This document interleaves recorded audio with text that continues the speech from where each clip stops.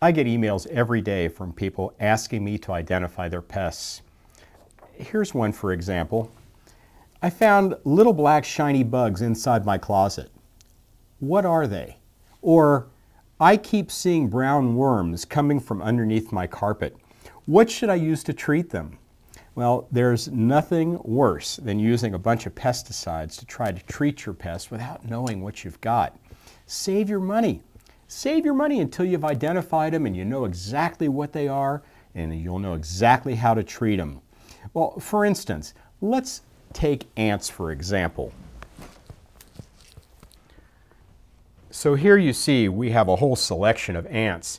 Let's say the ant you've been trying to treat, you think it's living in the inside, so you're doing treatment after treatment. Turns out that after you finally had the ident uh, ant identified, that your ant lives outside doesn't even live inside and it's just occasionally getting inside your house and it's lost. You, you gave away a lot of money, wasted a lot of time. What I prefer for you to do is, is collect a specimen, be it ants, beetles, whatever the insect happens to be. Collect it in a bottle, take it to a local pest control company, one of your county extension agencies, or whatever government agency that provides that service, uh, or even a natural history museum.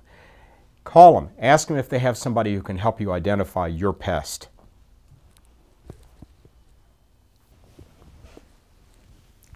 So get your insects identified before you do anything else.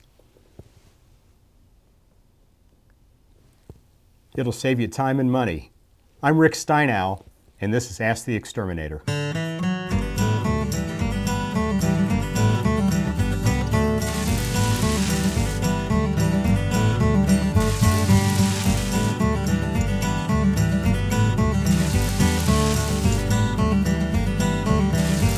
Be sure to visit AskTheExterminator.com for answers to all your pest control questions.